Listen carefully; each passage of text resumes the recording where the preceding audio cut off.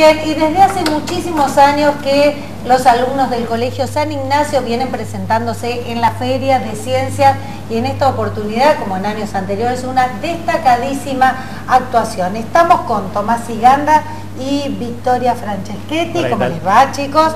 Y con Mía Moscusa y Oriana Graso del otro lado. ¿Cómo va? Bien. Todo bien. Bueno. Bueno, ¿por dónde empezamos? Porque acá vamos a hablar de Feria de Ciencias, pero dos temas. Empecemos por este lado porque acá tenemos a los chicos que trabajaron sobre energía eólica en el partido de Tandil.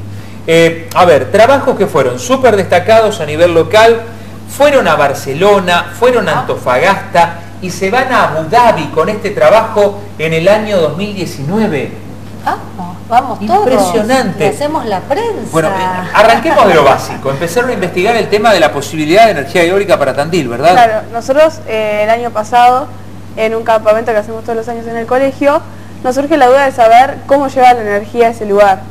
Y ahí estuvimos averiguando y vimos que había dos empresas y pudimos ver que una de ellas, que es Cretal, eh, abastece con molinos eólicos. Correcto, están ahí en la Vasconia. Claro, entonces nos surge la duda a ver si en Tandil podíamos utilizar más esa energía que sabíamos que no, era, eh, que no impactaba mucho en el ambiente. Y bueno, lo que hicimos fue ver los distintos impactos que tenía en el ambiente y también eh, pedimos eh, datos al servicio meteorológico de los vientos eh, para ver si te alcanzaban para ¿Se alcanzan? Y sí.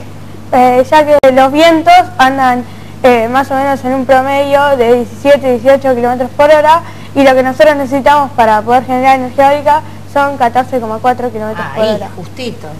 Claro. Sí. nosotros eso, las tablas con los vientos las pasamos a gráficos de barra para poder ir comparándolas mejor y ahí lo que comparamos eh, es que a lo largo de los años el viento disminuye y nos surge la duda, a ver, en unos años más ese viento te va a alcanzar y pudimos ver que sí nos va a alcanzar porque existe un factor, que es el factor de capacidad, que es el viento que se utiliza a lo largo del año. Este, eh, para que te funcione mundialmente, es de un 20%.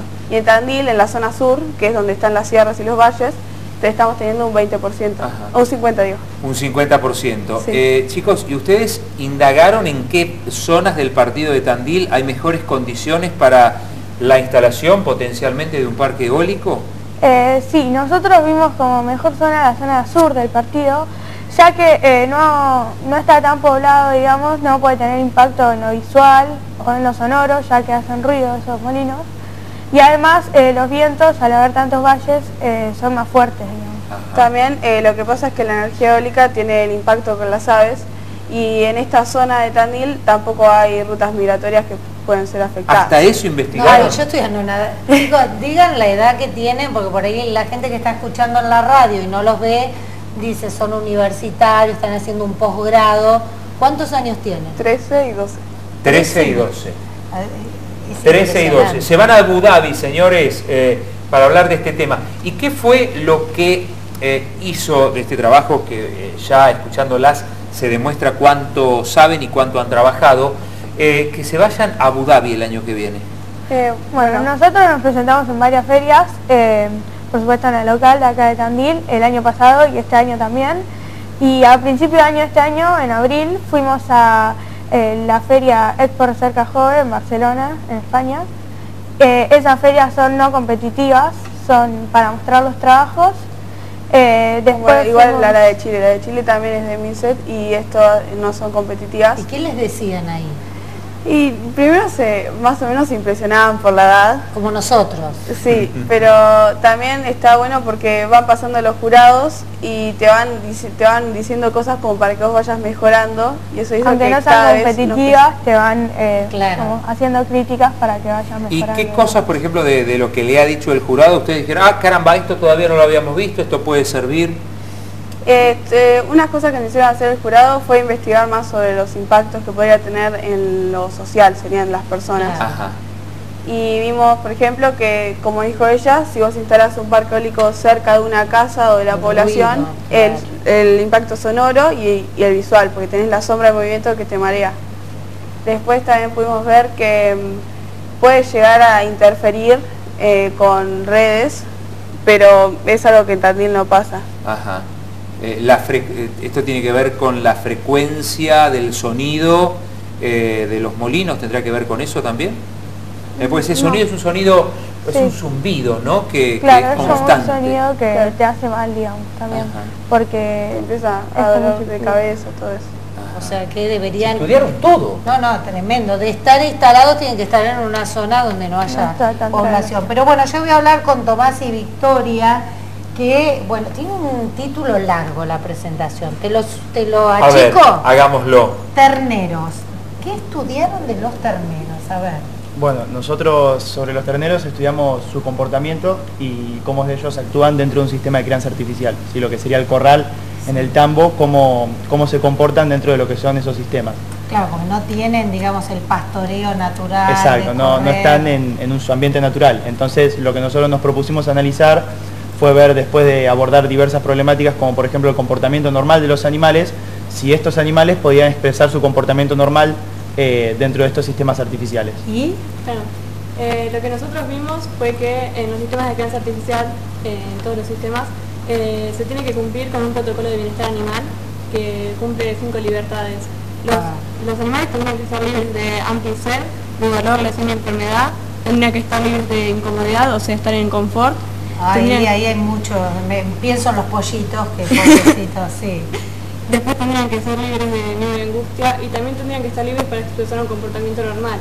Lo que nosotros vimos eh, en el caso de los terneros que están en sistemas de lechería es que esta última no se tiene en cuenta. Entonces nuestra idea es implementando actividades lúdicas, eh, en nuestro caso fue el rascador, eh, el rascador. Ahora después capaz que te... Hay que explicar el rascador, porque cuando dijo actividades lúdicas por ahí no, no, porque yo... Los hacemos jugar a los terneros. No, pero Cecilia eso pensó... yo pensé que era, le pongo un inflable, algo. Claro, yo, Cecilia pensó en eso, actividades lúdicas, muchachos, vengan, no, pero... Saltamos, jugar. ¿eh? Hay una explicación mucho. A ver... Eh, nosotros probamos... Porque eso impacta en la carne, impacta, en, la, calidad de la leche. Claro, si se tiene en cuenta el bienestar del animal y, y se favorece ese sector, eh, ahí esa parte te cubre la sanidad y cubriéndote la sanidad te ayuda a la producción también. Claro, eso está comprobado que mejora Exactamente. Y... por qué se pusieron a estudiar terneros? Bueno, terneros en otras condiciones, no terneros libres. Exacto, nosotros lo que hicimos fue analizar los, el comportamiento en los dos, en los dos sistemas que había, que era el sistema del cual están libres en el campo y el cual están eh, dentro de los corrales. Nos dimos cuenta que cuando estaban fuera sueltos en el campo, ellos podían expresar su comportamiento normal y no tenían ningún tipo de problema porque era básicamente su medio natural. Pero en cambio cuando son aislados de la madre, como en el caso de, los tambos para producción lechera, que son destetados, se los separa de la madre y además se los encierra en corrales con otro grupo de terneros, esto del comportamiento normal y su conducta natural se ve, se ve alterado. ¿Qué, le notaban al ternero? El ternero cuando es destetado empieza a tener mucho estrés, mucho estrés y además al estar encerrado con un grupo de terneros que no conoce, eh, también empieza a acumular grandes cantidades de energía y de estrés por no poder moverse en su entorno, en su entorno natural. Entonces lo que empieza a hacer son actividades estereotipias, ¿sí? son actividades anómalas y repetitivas que básicamente hacen que se hagan daño ellos solos. ¿sí? Ah. Empiezan a comer el piso, se empiezan a chupar entre ellos, empiezan a comer madera, empiezan a, a lamer sus heces. Entonces lo que hace eso es generar mucho malestar y mucha enfermedad, lo que a nivel económico en el tambo genera un problema en, lo que son gastos en antibióticos y gastos para, curar estas enfermedades y a nivel producción también por el hecho de la calidad de la carne que produce. Y para eso le pusieron rascadores, señores. Exacto. ¿Qué son los rascadores? Bueno, los rascadores son... cepillos que te rascan Básicamente, nada más que estancados en el piso. ¿Sí? ¿En el piso? En el piso. ¿Y qué hacen los terneros? Van y se rascan contra los rascadores que nosotros le hicimos. Ah. Los rascadores son mm, un, tubo plástico que lo único que tiene son cepillos de escoba con precintos unidos. Para, para, para, para. Pusieron, no, esto yo lo, esto lo llevo a los chicos allá mucho, a mis amigos que tienen en el campo, y le, que pongan cepillos, ya estoy llamando, te digo. Claro. Como escoba, los escobillones. Exacto, ellos pasan y se rascan. Pasan y se rascan, lo que les, lo que, les genera... Por la tele estamos viendo las imágenes lo que les genera a ellos es una gran sensación de placer y de confort por el hecho de poder estar rascándose, que para ellos es una necesidad que cubren. Como un mimo, digamos. Exacto, es para ellos es como un mimo. El tema es que esto está implementado en solamente vacas ya más, más grandes para producción, que tienen paredes que son movibles, que las rascan. ¿Qué pasa? no han pensado en los terneros. No han pensado en los terneros y además tampoco han pensado en la interacción de ellos con, las actividades. Al tener una pared que se mueve sola, el ternero lo único que tiene que hacer es quedarse parado y no gasta esa energía que tiene acumulada.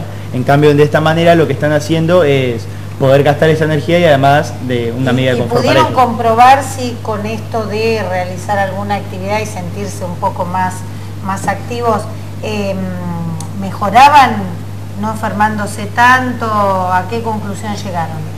Bueno, nosotros llegamos como conclusión de que realmente esto es benéfico para ellos. Estamos pensando en hacer los estudios de producción, que bueno, como el tiempo de cría es de 45 días, lo que nosotros tenemos que ver es después de esos 45 días qué, impacto claro, tiene la producción, ya estamos pensando en hacer esos estudios y también los estudios económicos en base a qué recompensa estaría teniendo el productor con el utilizamiento de estos, de estos rascadores. Bueno, impresionante. Energía eólica por un lado y eh, bienestar animal por el otro. Son eh, trabajos de Feria de Ciencias del Colegio San Ignacio y ustedes se van a Puerto Rico el año que viene. Exacto. ¿Con los terneros? Con el rascador, capaz. Con el rascador. Me imagino en el avión con el... Se le van a complicar en la aduana. un ternero de muestra. Se le va a complicar en la aduana. Chicos, felicitaciones. Recordemos quiénes nos visitan. Estamos hablando con Tomás Iganda, Victoria Franceschetti, Mía Moscusa y Oriana Grasso, todos este, alumnos del Colegio San Ignacio que tienen entre... 17. Ustedes son más grandes, 17 años y las chicas entre... 13 y 12. 12 y 13, increíble. Felicitaciones chicos, Muchas ¿eh? la verdad que un gusto. Chicos del Colegio San Ignacio, ¿eh? contándonos sobre estos trabajos en Feria de Ciencias, un grupo se va para Abu Dhabi y el otro para Puerto Rico. ¿Qué le parece? Impresionante, felicitaciones a ellos, a Marta, a la directora y a los papás que están que han venido acá, que están acompañándonos. Y no es para menos.